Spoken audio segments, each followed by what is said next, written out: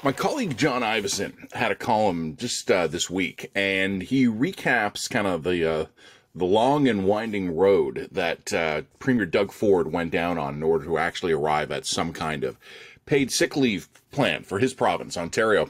But he actually recaps something more interesting, I think, which is that right at the beginning, he notes how at the start of the pandemic, back last year, the Yukon t- uh, territorial government said, okay, we got a problem. People are going to need to isolate. It's going to be a two week, uh, two week isolation period. So we got to give them leave to cover the actual time they're going to be missing. It was a targeted, specific response to the unique needs of the pandemic, and it was brought in place almost immediately. And it got me thinking not just about Doug Ford in Ontario, although certainly it applies, got me thinking a little bit about the federal government as well.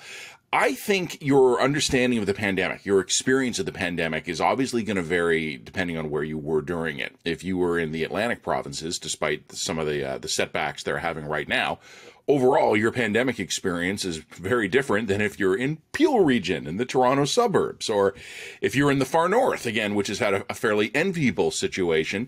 Montreal and Toronto, not we're all going to come into this thing with our own unique recollections. So I want to just preface this by saying, look, maybe where you are, your provincial government did just fine. A lot of us, though, can't really say that. And all of us on a national level have been failed repeatedly by our federal government. You know, I know that vaccines are the things everybody's angry at Trudeau over. I'm not convinced he could have done much better. I think he could have done better, but I don't think he could have done massively better. This is something that is an incredibly scarce global supply. It's a zero sum game. Every extra dose Canada could have conceivably obtained for itself would have had to come basically from the United States, India, or Europe, and they're not really selling anymore right now. So I think there was a pretty uh, low ceiling to how well Mr. Trudeau could do, but his failures and there have been some, have been in terms of uh, federal communication, federal border control policies, federal quarantine policies. This has been where the Trudeau liberals have let us down again and again. And you might think I've just radically changed the topic and I've moved on to the feds. No, it's the same topic. Because what John mentioned in his column, that Yukon saw a specific problem and tailored a specific solution to it, and they did it in a matter of weeks just reveals the fact that, contrary to our usual incompetence, it is, in theory, possible for Canadian governments to move quickly to address a problem. Justin Trudeau needed basically about a year to be dragged by successful conservative politicking, because that's all it was.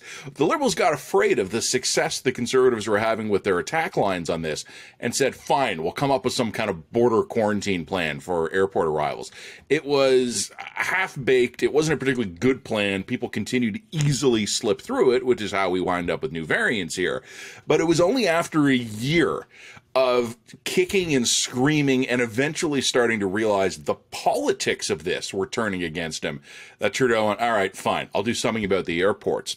Meanwhile, in Ontario, it was only after his government went into a full fledged public meltdown that ultimately resulted in a uh, tearful Premier Ford coming out and offering a sincere apology to the province of Ontario that the conservative government went, yeah, you know what, we should come out with a paid sick leave program.